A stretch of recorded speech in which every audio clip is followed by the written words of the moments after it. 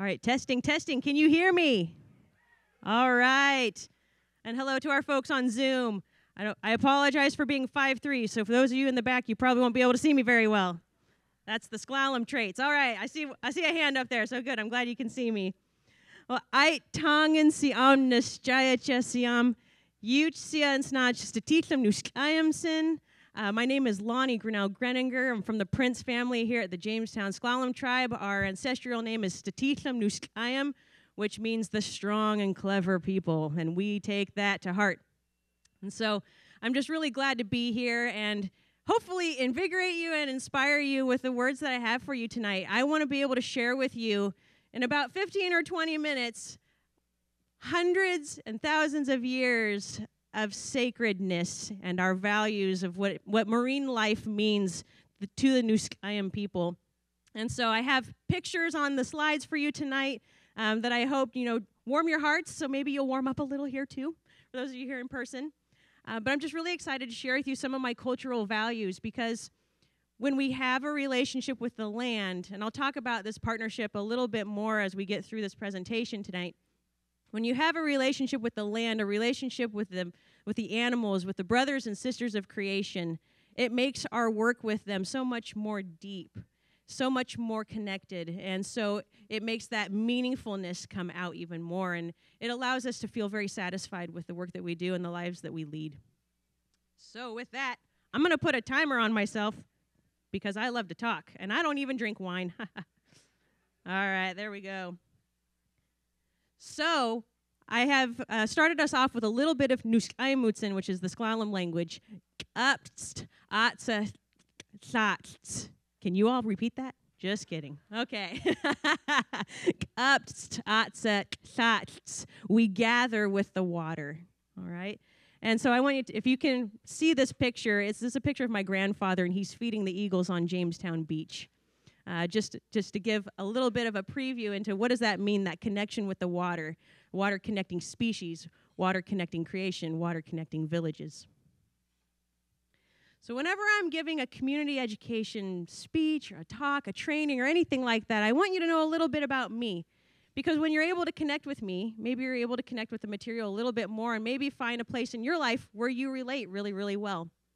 And so I, I usually in my in our customs we introduce ourselves by our ancestral lineage. And so what I'd tell you is, you know, who my father is, who my grandmother, my great grandmother, all the way up as far as I can remember. And so in the ancestral lineage of the Nuskayam, we can go back pretty far, which is really amazing with our oral histories. And so the photo that you see on top, that is Chief Cheechmahan or Chief Chetzamoka, as most of you might know him. He was the chief of the Port Townsend area at our village called Katai. So that's where my family originates from, is Port Townsend. And then we were moved over here into the Sequim area um, as settlements were coming in. And so he was actually the first one in my family to encounter non native settlers. He was able to be the first one to partner with them, unite with them, and coexist respectfully and responsibly with them. And those value systems of coexisting with the people around us, creation, humans, animals, all of that combined, that was so important to him. And I believe that those value systems actually are in my veins, passed down seven generations. So, seven generations ago, we have Chief Cheechmahan. And then now we have me, the manifestation of seven generations from him. He did all of this wonderful work, interacting, partnering, figuring life out, figuring out how to keep and maintain and sustain our natural resources, the beauty around us. He was able to pass down all of those value systems through those generations, and now I get to do that. I get to uphold those. And so I love being able to teach on these value systems because it's so important. So, one of the things that we want to be able to say is we are co managers, we are protectors, we love the creation. We were given a specific sacred duty from the Creator to be able to steward these lands and these seas and the skies. And because of that sacred duty, we're very tied to the land. So being able to stay on our homelands is very important to the native peoples. I think anyone can, can really relate to that. You know, if you have a home, you've settled there, you're connected to that place, right? You're connected to the land. It's been serving you, it's been pr- providing for you. And then you work the land, and it, it's, there's a relationship there. So I think everyone can really identify with that, being connected to the place where you live. Okay? And so when we are stewards of the land, there's this deal that's happening. It's this mutual partnership. When we invest in the land, it invests in us in return. And we have legends and myths that tell those types of stories. We have ceremonies that actually display those types of relationships. They're pretty neat, and I'll talk about a few of them as we go along here. All right, so what's my brief connection to uh, Feiro Marine Life Center? I wanted to be able to share with you that I've actually interacted with the Marine Life Center since I was a kid. Uh, I had an elementary trip there, and I have a picture on the screen here of a sea cucumber because that was the first time I was able to touch one. And I loved it. And, you know, when I first looked at it, here I'm in elementary school, so I'm probably like seven or eight years old. And I took a look at these sea cucumbers, and if you look at them, they look kind of scary. You, like you shouldn't touch them. And then it was part of the touch tank, and so they were like, "No, no, no, it's okay." And they would encourage me to touch it. And then you, t- it's a squishy little blob of felt. I thought it was just the neatest thing. And you know, you as a um, as a child of a commercial fisherman, my dad was a commercial fisherman. He would encounter all sorts of marine life. You know, he dove 30 feet into the water. He would harvest geoduck, duck, and he would bring up all sorts of creatures, you know, sea pens, different kelp, jellyfish, things like that. But I had never seen a sea cucumber, and so it was really neat for me to be able to touch one and not be afraid of it anymore. So I just have to thank Feiro for helping me with my fears of uh, sea life. um, but then, as Melissa mentioned uh, a little bit beforehand, I was also to help with some equity, inclusion, diversity work and be able to do some educational videos sharing about our ceremonies around the salmon. And so it's just been really great to keep this connection alive, and I'm really happy to be here tonight. So I just want to orient us real quick on the land of the Nuskayam. And so this map here, I do not expect you to read the, all the little tiny uh, tags of text here, but every one of those tags is a known village site to the Nuskayam. And you can see we were a water people. We were along the Strait of Juan de Fuca. We believed that our sustenance came from the waters. Of course, it came from the forests and the mountains as well, but we were a water people first and foremost. And so, if I bring you to five, these five villages are where we are populated now. So, you have, uh, let's see, Ethwa, so that's Elwha, so I'd say West Port Angeles, Tweetson, which is Port Angeles proper, Shquing, which is what we call Sequim, Statithlam, which is where Jamestown has its name, is around the Dungeness area. Katai is Port Townsend, and then Nukhayet is the Kingston Poulsbo area, and that's where the Port Gamble S'Klallam tribe is located. And then, of course, Lower Elwha, our other sister tribe, is located in Port Angeles. So, as you're thinking about the land and as you're hearing my stories tonight, this is the types of connections that we're talking about these ancestral connections to the land where we were here going village to village and we were going from season to season, moving along with the animals. We would follow them. So we were almost a nomadic people as well, but we also had permanent residences. Oh, there we go. So this photo here is me carrying the salmon for our salmon ceremony. And I'll explain a little bit more of this later, but when we talk about the indigenous perspective, we come back to that foundation of we're connected to the land, we're stewards, okay? And so we provide for them, they provide for us in return. And when we talk about the salmon ceremony or uh, other first foods ceremonies, we celebrate those particular animals who've given their lives up for us to be able to provide sustenance. We celebrate the foods that have grown from the earth, maybe grown from the trees, um, these animals that have grown from the waters, grown from the forests. Each one of them are worth celebrating because they gave up a life to be able to give our lives more sustenance and more health.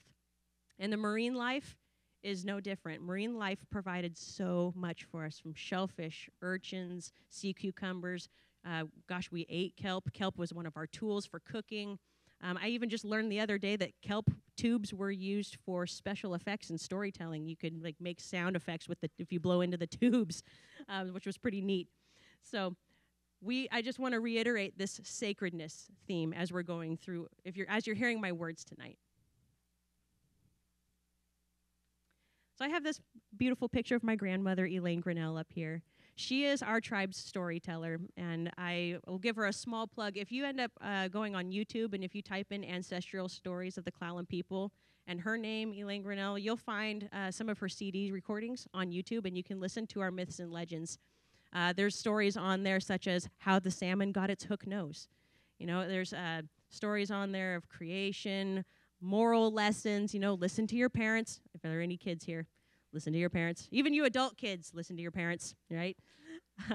so I, I definitely check it out so you can get to know our people a little bit more through our stories and what we teach our children through storytelling. It's pretty neat. But when we're talking about the brothers and sisters of creation, we're not talking about what, but who. So when you're looking at the ocean, it's not a what is the ocean, but more of a who is the ocean and who is living underneath its waters. So we have stories, myths, legends of the orca villages, the salmon villages, the seal people. And in fact, some of these uh, villagers who are underwater, they would come onto the shores and they would shapeshift and then be among us. Sometimes we even hear of stories of intermarriage between humans and these other villages. So we would have women who would marry killer whale men, and they would go back and forth between these villages visiting their families. And when we had these intermarriages, it also formed a stronger bond and relationship of provision. So we were able to show that we treated these animals with kindness, and they would go back to their villages and say, Yes, the Nuskayim were good to us. We can continue to interact with them. These happened with the forest animals as well, but since we're focusing on marine life tonight, I wanted to be able to highlight that. We're not talking about what, but who. We have all of these different villages in our waters.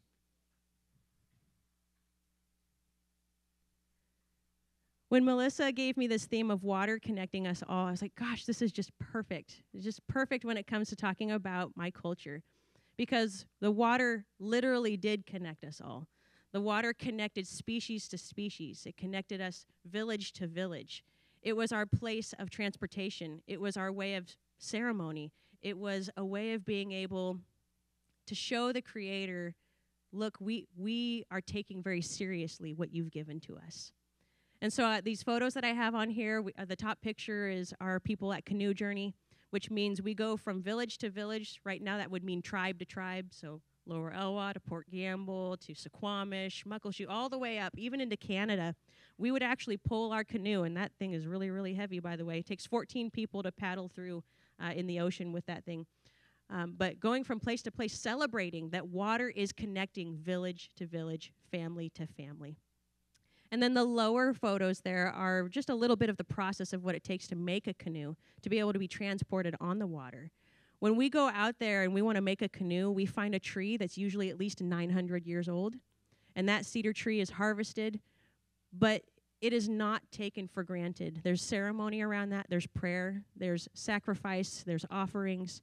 Um, and then we actually take the bark, we will weave that into our beautiful cedar hats, we'll weave it into our cedar mats, and we can use that for for dining, we can use it in cedar clothing. So every piece of that tree is used. And then the massive trunk is then carved into our beautiful canoes. And we're able to use that for transportation. Going from village to village, we can go for celebrations, weddings, ceremonies, potlatches, which is partying, a good partying. You know, it's, it's beautiful. And so it's just nice to see this connection of species. Again, we're taking the forest and connecting it to the water. I mentioned the salmon ceremony earlier, and so I'll touch on it here. The salmon ceremony is when we take the first salmon of the season. Usually, this is in the early fall, so about September ish. And we take that first salmon and we break it up into enough pieces where everyone can have one bite of that salmon's body. We pass it around, we give thanks, we talk about the sacredness of salmon amongst our peoples. We tell stories, good fishing stories, successful fishing stories. And then we take the bones, the head and the tail of that particular salmon that we ate from, and we put it in this beautiful basket and we lay it on top of cedar boughs. It brings it purity, it brings it cleansing, it brings it honor when we lay it on the cedar branches. And then our people will hand it over from the beach to those who are in the canoe. And then those who are in the canoe, they will paddle out from our shores and they will find a nice deep place for that salmon and they will gently lay it back in the water. And it should and it will go back to its own people. And what we ask the salmon to do is we say, when you go back to your people, when you go back to your salmon village, will you tell them that the Nuskayim treated you well? And will you come back to us? And then the salmon does. And that's how we always continually get our salmon seasons back every single year. That's why they come back to the Dungeness River. That's why they come back to the Strait of Juan de Fuca. They don't just stay in Alaska, they don't just stay in Canada. They come back to us because we treated them well. Amazing, isn't that? I love that story. And I love being able to participate in ceremonies like this. So, what does our relationship look like now? We're in this contemporary era. We have technology, we have sciences, we have data. So, what does that mean now for us? And this is the part that I love speaking about, which is this blending of indigenous knowledge and Western knowledge all at the same time, where you have the relationship with the land and the seas and the animals, those brothers and sisters in creation. So, that's that indigenous perspective, right? And then you have this Western knowledge perspective that brings all of this study and science. It's amazing, it's in depth. And we need all of that to be able to keep these marine life, this, these brothers and sisters in creation, alive, sustaining, and thriving. Not only for us to be able to sustain us, but for thriving just for themselves. They need to be able to thrive amongst themselves too. And so at Jamestown, we love being able to have partnerships where we blend these things together. And then you get amazing partnerships. We get to actually, you know, for example, like what, what Melissa was saying earlier, we get to educate our populations on what is the salmon ceremony? Why is the salmon so sacred to us? But then talk about partnerships of study and science on how we can improve our waters for salmon, how we can improve the rivers, make sure that they have enough log jams to be able to swim up and be able to reproduce, things like that. We get to bring these partnerships together, and it's beautiful, and it's necessary, and it's needed especially in times of climate change, for example. I just came from a one week climate change camp, so I feel really radicalized right now. um, but it's good. These are things that I need. Oh, good. Yeah, thanks. but these are important. These are important things. I need science and data and study. I need to know that language, and I need to be able to blend it into the language of my people so that those salmon will keep coming back. Yes, ceremony is good. Yes, ceremony is meaningful, but if I don't have the right environment for my salmon to come back, then they won't. So I'm learning about this. You know, I, am young in this particular study when it comes to climate and how it affects my animals, my brothers and sisters in creation. But this is where that blending is so important. And I'm almost to the end here, and so I want to uh, leave us with a couple of photos, some quotes, and a little more. Um, little more on my culture here. But these photos here of Chairman Ron Allen and then my late father, Kurt Grinnell.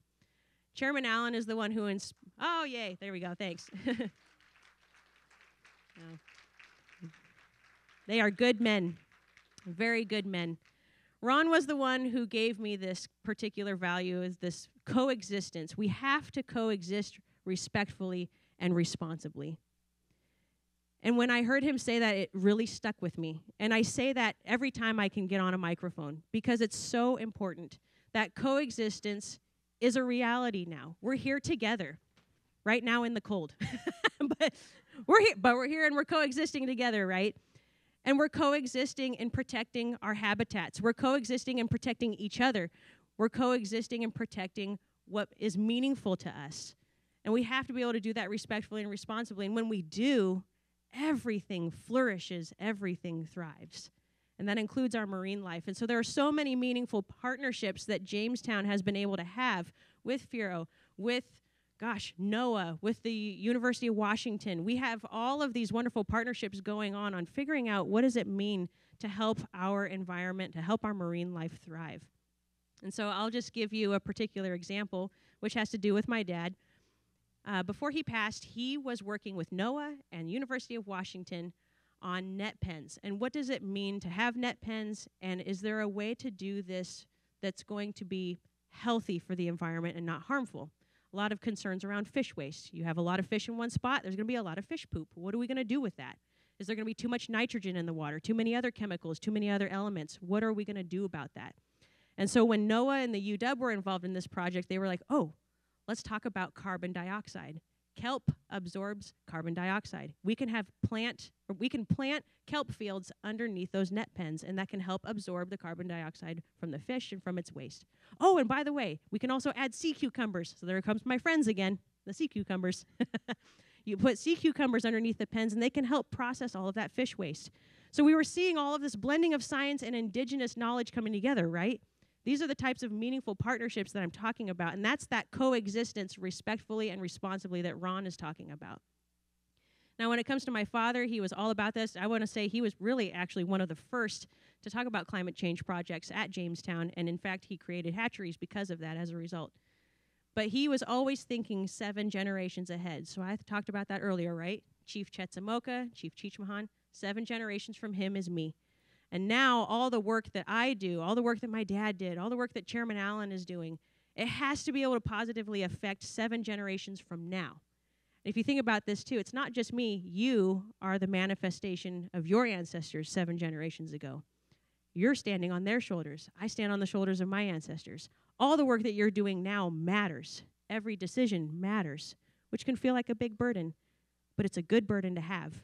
And so all the work that I'm doing is going to carry that spirit on. I want to be able to enjoy the brothers and sisters of creation that live underwater. I want the villages underwater to be able to survive and thrive. I want to be able to say that there are orca people, seal people.